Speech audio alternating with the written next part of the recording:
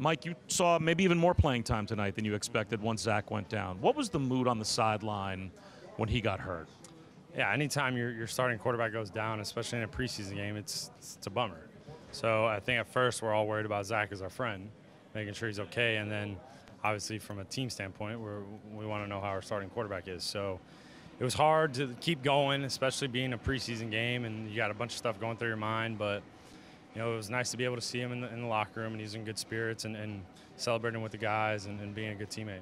Yeah, I remember when the Jets lost Vinny Testaverde to begin the 1999 season, a long time ago. But Bill Parcells immediately reacted and said, "Look, it's the NFL. Nobody cares." Right? Like this is the world of this league. You just have to move forward. There's still business to be done and a game to be played. What about when you got in there? What'd you say to the team? What did guys say in the huddle to remind yourselves that you still had work to do and things to accomplish tonight?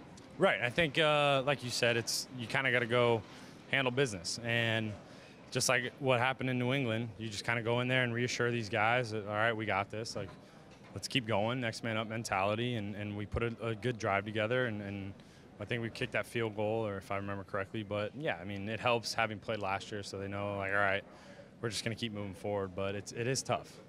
Thank you for the time. Appreciate yeah, it. Yeah, no problem. All right.